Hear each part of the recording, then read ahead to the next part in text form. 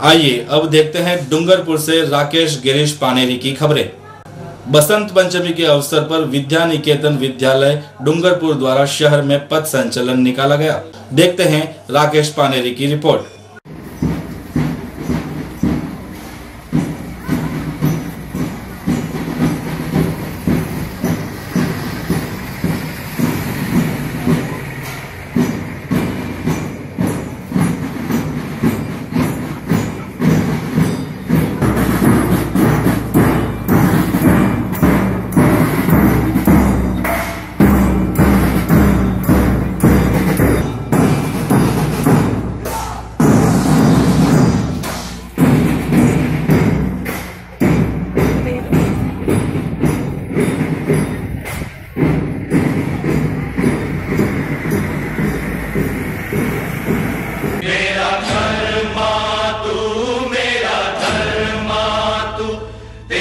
सब कुछ मैं